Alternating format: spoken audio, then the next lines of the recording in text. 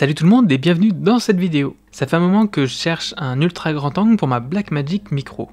Comme vous le savez, c'est une caméra avec un capteur Super 16, plus petit que du micro 4 tiers donc. Avec mon Speed Booster Metabones, j'arrive à retrouver du grand angle, mais malheureusement je ne trouvais pas l'objectif qui me convenait. J'avais besoin d'une focale entre 10 et 12 mm et en monture EF. Je voulais aussi avoir la bague d'ouverture pour garder tous mes réglages en manuel. J'ai trouvé le Tokina 1120 dans leur gamme cinéma, mais à 2500 euros avec un poids et un encombrement trop important pour mon besoin. J'ai également trouvé leur 1116 qui a très bonne réputation en photographie et ils l'avaient justement recarrossé pendant une période pour créer un objectif avec une ligne cinéma. Il existe donc bien un 1116 ouverture T3 qui possède des bagues crantées et une bague d'ouverture décliquetée avec un diamètre de filtre de 77 mm malheureusement disponible nulle part. La manufacture Duclos propose également cette optique photo, mais recarrossée pour le cinéma avec sa bague d'ouverture. Mais quand on voit le prix et sachant qu'il faut le commander aux États-Unis, autant partir sur le modèle 1120, plus récent et disponible à côté de chez soi. Mais après plusieurs mois de patience, je suis enfin tombé sur l'annonce tant attendue.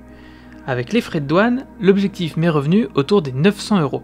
Quand on sait que la version photo se trouve autour des 300 euros, ça fait quand même un peu mal. Bon, il est là, il est bien beau, mais qu'est-ce qu'il vaut maintenant?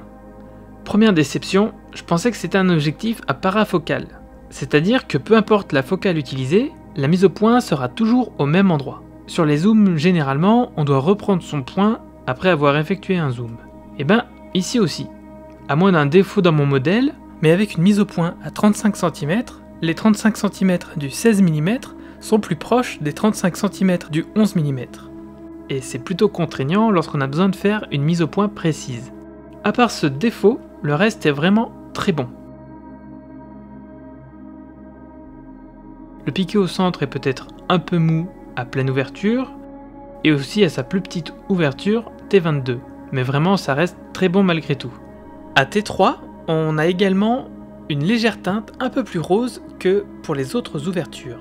Ça arrive assez régulièrement avec pas mal d'objectifs à pleine ouverture, mais c'est facilement rattrapable lors de l'étalonnage.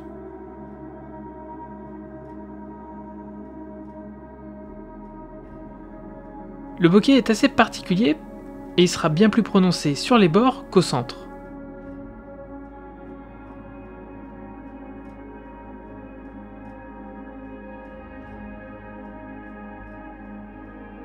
Maintenant, je voulais parler des aberrations chromatiques. Je trouvais les bords assez prononcés. Ils sont carrément étirés là. Et je me suis demandé si ça pouvait pas venir de mon speed booster. Et en effet, ça fausse pas mal mes tests finalement.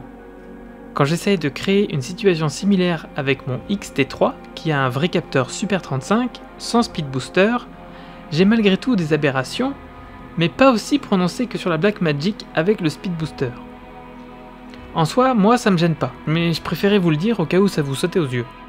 Je constate aucune déformation ou distorsion sur des lignes droites, horizontales ou verticales. Les flares sont bien chouettes. À T3, on a de beaux cercles qui se forment sans pour autant gêner la lecture du plan.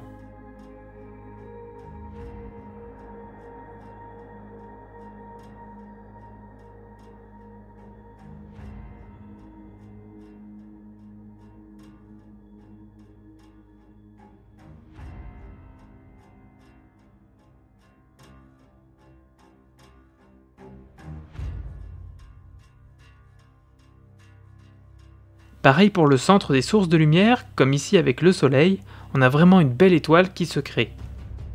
Je vous laisse maintenant quelques images.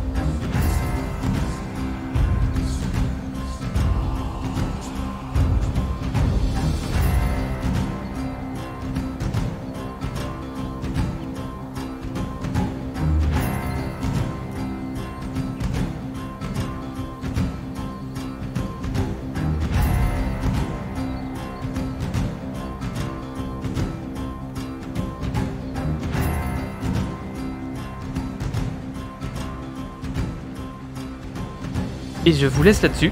Merci d'avoir suivi cette vidéo et je vous dis à très bientôt. Ciao